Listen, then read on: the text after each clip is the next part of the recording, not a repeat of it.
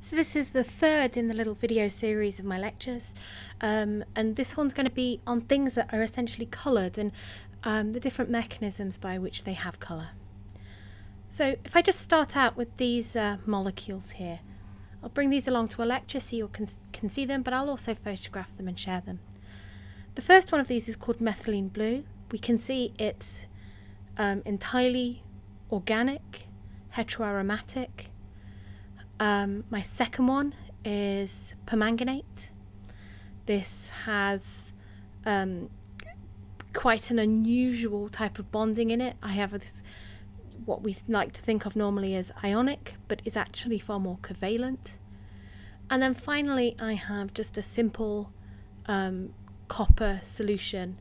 And what you'll find is when you get um, particularly transition metals going into solution, they end up with an organized field of, of solvent around them or an organized field of other um, ions or molecules around them that we call ligands.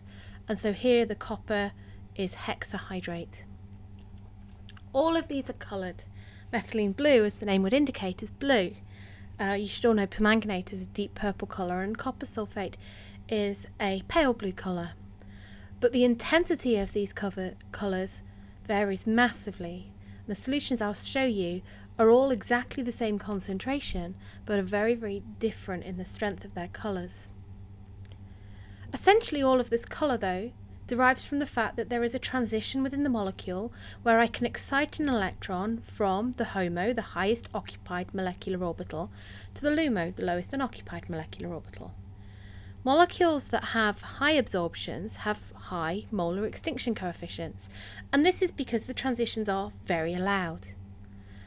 There are a number of selection rules associated with um, all transitions, but the most important one is not a selection rule, but is actually a statement on the structure of the ground in the excited state. The methylene blue has a very high extinction coefficient because the structure of the ground and the excited state are very, very similar. We can see that it's not really easy to change the structure of this molecule, particularly the um, double bonded section, which is the root cause of the colour that we can see. So the transitions within these molecules are simply to do with the fact that I move an electron from one orbital to the next.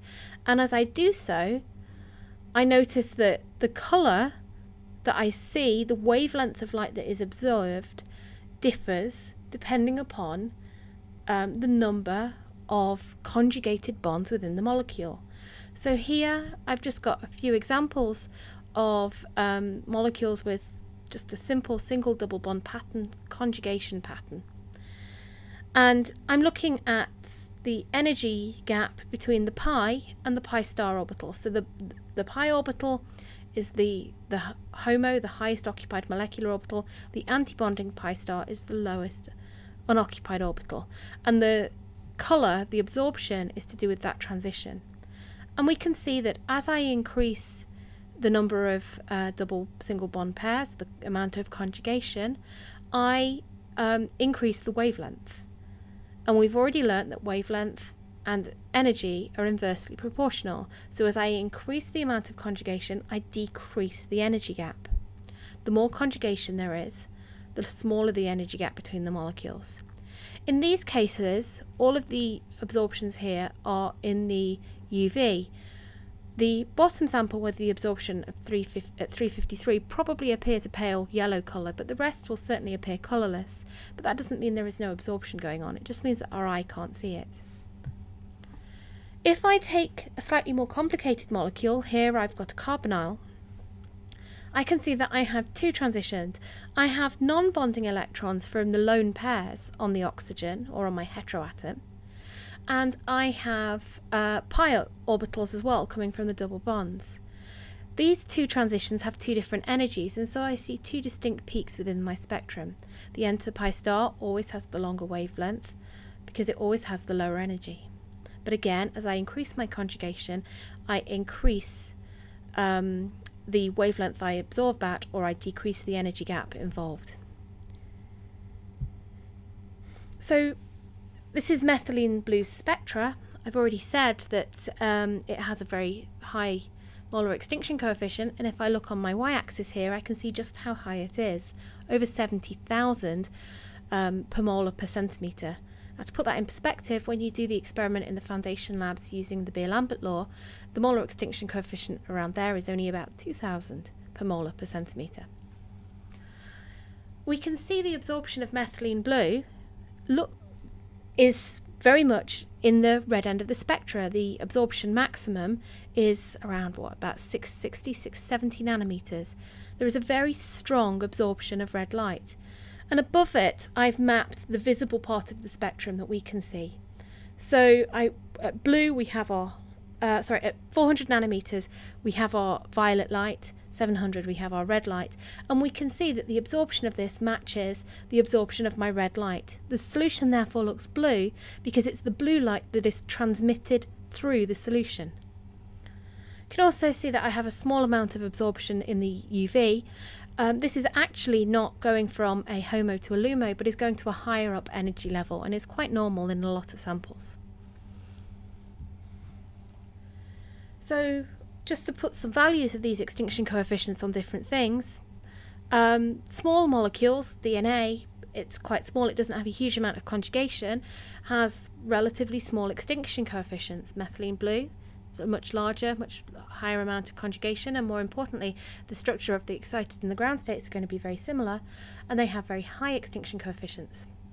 Now, in the case here of um, my bottom three examples, my potassium permanganate, my copper sulfate solution, which, as I've already said, will form this hexa-aqua um, ligand set, set of ligands around my iron in solution, or copper complex, as we should call them. And then at the bottom, I've got this praseodymium chloride. And we can see in those cases my extinction coefficients are lower. The copper um, has a very low extinction coefficient and the praseodymium an extremely low extinction coefficient. Um, the, and it's because we have selection rules. So I essentially have selection rules that say transitions can't happen between the same type of orbital shell. And in copper, I have a transition which is going within the set of d orbitals. This is going to be forbidden by my selection rules. My praseodymium, this the transitions go within the f orbitals, again forbidden within my selection rules. So these have very low um, extinction coefficients. My manganese, my permanganate solution, um, instead doesn't have transitions between its d orbitals. If I think about the oxidation state of the manganese here, it's plus 7. There are no d electrons. Instead, I have what's called a ligand to metal charge transfer. In this case, an oxygen is donating an electron from its shell into the manganese, and as it does so, it absorbs a photon of light. This has no selection rules for it, and so we see a higher extinction coefficient. You'll learn a lot more about selection rules as you go through your physical chemistry classes, but ultimately they're incredibly important to understanding colour and solutions around us. So, as I said, just to recap that, we have uh, colour here for three different reasons. Methylene blue has an allowed transition, an N to pi star. It'll also have a pi to pi star, which we saw with the absorption in the UV. The structures are very similar in the ground and the excited state, and so it has a high extinction coefficient. But this is ultimately an electronic transition between different orbitals within the molecule. Permanganate has a ligand to metal charge transfer, usually um, shortened to LMCT. An electron moves from one of the oxygen p orbitals and ends up on the manganese. As it does so, it needs a little bit of light to absorb to help it do this, and so um, that's where the absorption in permanganate comes from. Finally, my copper complex um, has these forbidden DD transitions, um, and I'll explain those a little bit more later on. You should all have seen um, energy levels splitting when we have hydrogen. Um, all of the s orbitals are the same energy, so s and p are the same energy um, for the 2, 3 and 4 um, orbitals. It's only when we put more than one electron in that we start to split these energy levels. Now, a similar thing happens with the d orbitals in that I have uh, a net benefit to splitting the levels, and that splitting is all to do with the fact that we form a complex. These complex or these uh, transition metals with an organized kind of shell around them of, of other molecules um, have d orbitals which split into two or potentially even three levels. In the case of copper, I have what I would call an octahedral field, or I have six things all going out at right angles to each other. Um, this will give me a particular type of splitting where I end up with three of the d orbitals lower in energy and two of them higher. The overall energy, everything adds up to the same, so there's been no loss or gain of energy at all. It's just that it starts to favour me when I only have a certain number of electrons going in, um, that I end up with a lower energy state.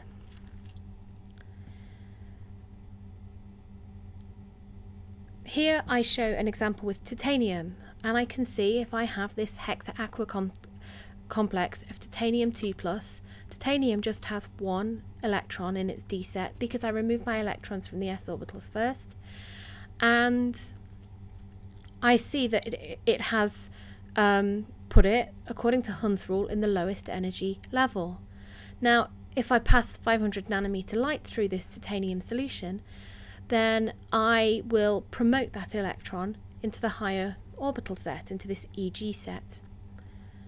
This, however, is a spin forbidden transition because essentially I have the electron moving between two d orbitals, and this isn't going to be allowed. So the extinction coefficient for this is quite low, just 6.1 per mole per centimetre. We take colour for granted all around us. Um, we live a very colourful life nowadays, but once upon a time life wasn't quite so colourful. And the whole basis for the strength of the chemical industry in the UK is largely due to one man, William Henry Perkin. Perkin realised that he could synthesize a bright coloured dye. He called that dye mauveine. And essentially, he invented chemistry as an industrial process. This synthetic dye mauveine was bright and it was a colour that had previously only been available to the most rich of people.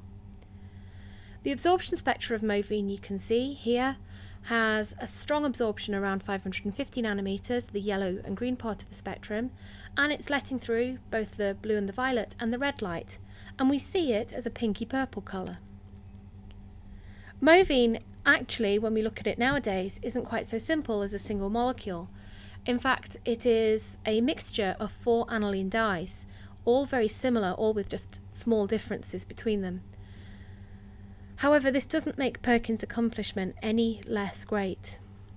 We can see with these dyes that there is a large amount of con conjugation, lots of single bond, double bond patterns, and we can also see that there are heteroatoms as well, giving me that N to pi star transition or helping my absorption appear in the visible part of the spectrum.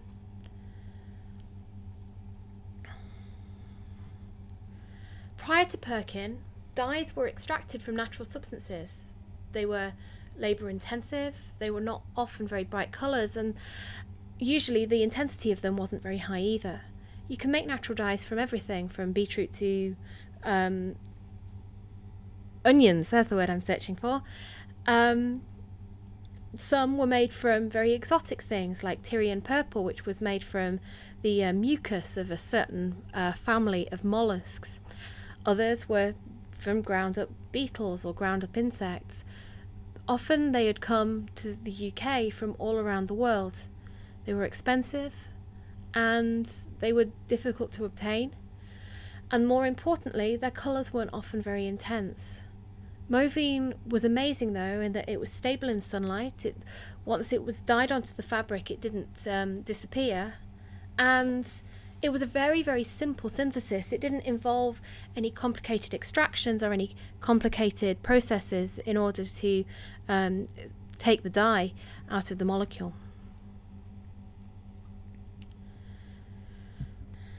This molecule here is called ethidium bromide. Ethidium bromide, as we can see, is planar. It's got lots of conjugation. I have some heteroatoms in there as well. It's got everything going for it to have a good, strong absorption, which it does. However, ethidium bromide is a really good example that it's not just the molecule that gives me the wavelength of absorption, or the colour of a solution and the wavelength it absorbs. Ethidium bromide shows what we a, a property that we call solvatochromism. Solvatochromism basically says that the colour depends upon the solvent.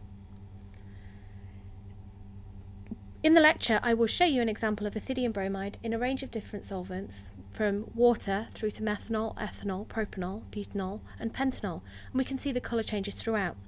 The reason for this is that the different polarities of solvent are offering a different environment for my molecule, which I can see whilst it has a single charge, it's largely um, non-polar. By stabilising the molecule differently, it means I have a different energy gap between each of the different forms. A different energy gap means it's absorbing different wavelengths of light.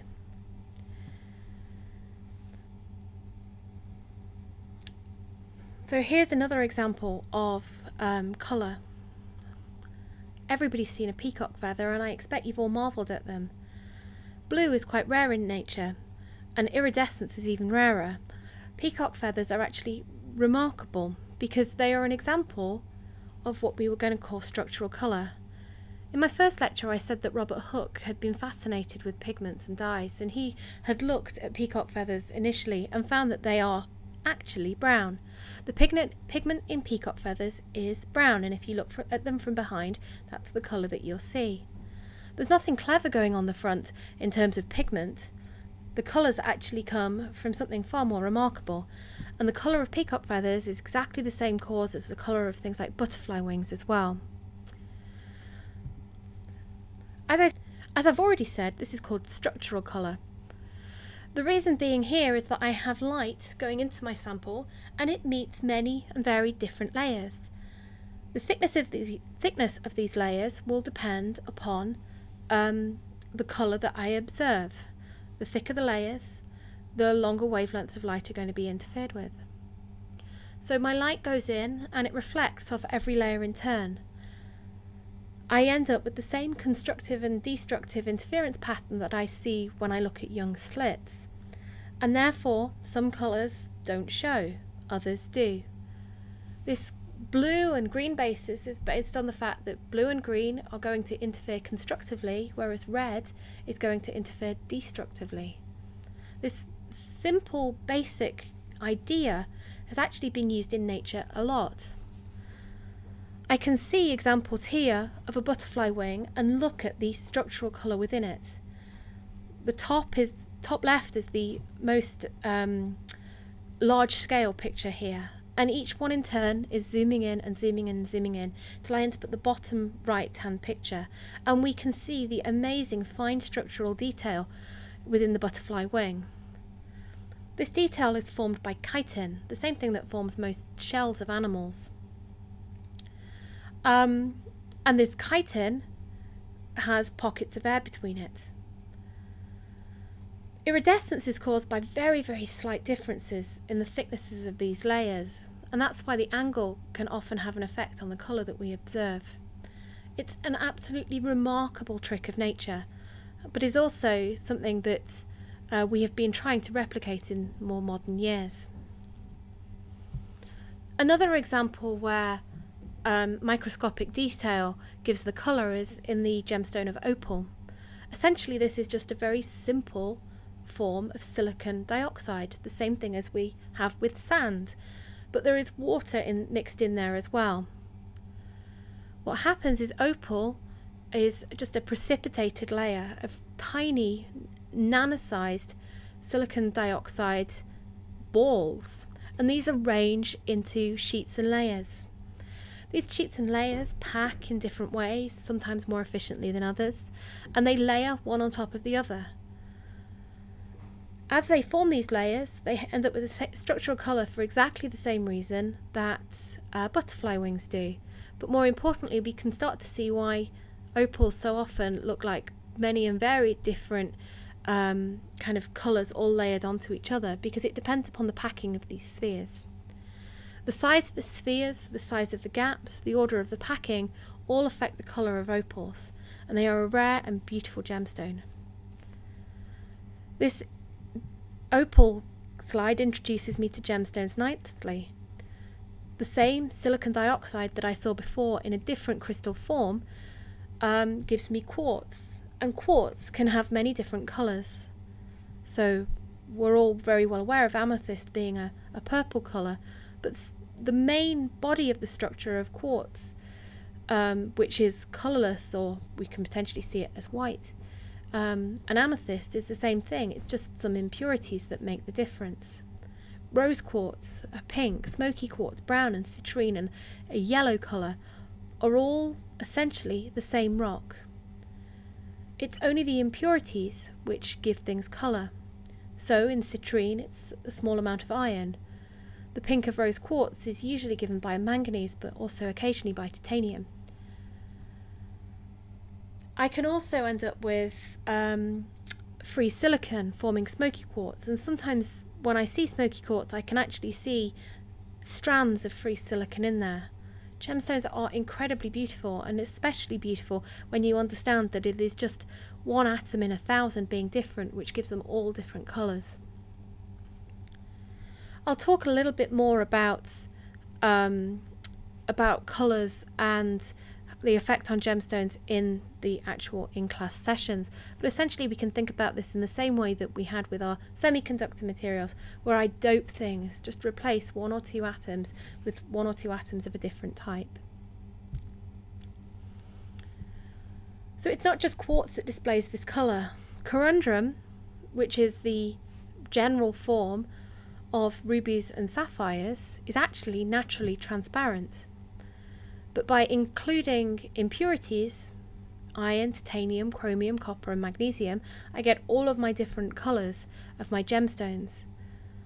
It wasn't understood initially that rubies were essentially the same as sapphire. It was only when we started to understand more about the properties and the optics of these gems that we actually realised that they were the same thing.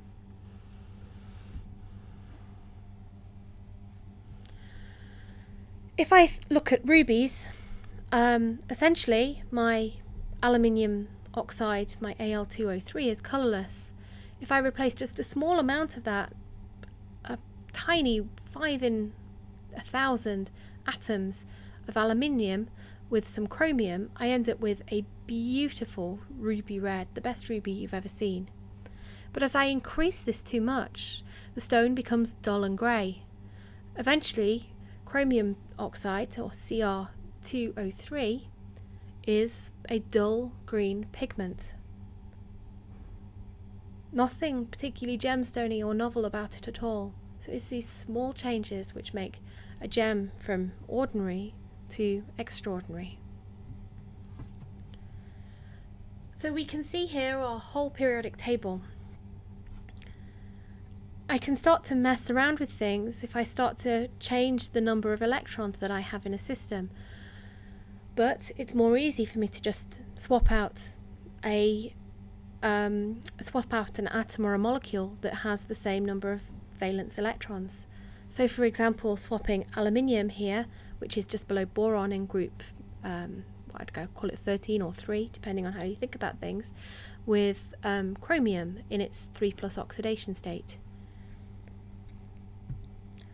So here I've said that we have Al2O3 is the basis of corundum, I start to swap that with um, my chromium and I see the beautiful ruby red. If instead I replace some of them with an Fe2 plus and some of them with a Ti4 plus, I end up with the most beautiful cornflower blue sapphires. Overall my charges are all balanced and so my system is stable. So now I've discussed colour from absorption of small molecules and I've discussed colour from um, solid state samples where I swap out individual ions. I've also mentioned structural colour, but I can have another type of uh, absorption and colour, and that is colour from nanoparticles. The Romans used to synthesize the beautiful, the most beautiful red glass, and they did it actually by making nanoparticles of gold and including it in their glass. Now, of all my examples of colour I've given today, this is actually the most complicated to explain, but it's ultimately due to something that's called Mie scattering. Mie scattering just means that the light of um, certain wavelengths is scattered differently by different size samples. As something starts to behave more like a macro scale thing, um, Mie scattering is no longer the dominant form of colour. Nanoparticles are incredibly interesting for various reasons. Um, not only do some of them display interesting properties upon absorption, but others display interesting properties of emission of light. This is a modern phenomenon. But colloids and nanoparticles have a benefit not just from their colour. Silver nanoparticles have been used as antibacterial agents for at least the last 20 years, and um, Dr. Jenkins actually uses silver nanoparticles in his research to treat burns. I hope again that I've just introduced to you some of the complexity of colour within a molecule. Um, we'll discuss some of these examples for, in more depth in class, but again, just you know, to understand how beautiful the world is around you and to not take things like colour for granted, I hope is the basis of some of this course. Thank you for listening.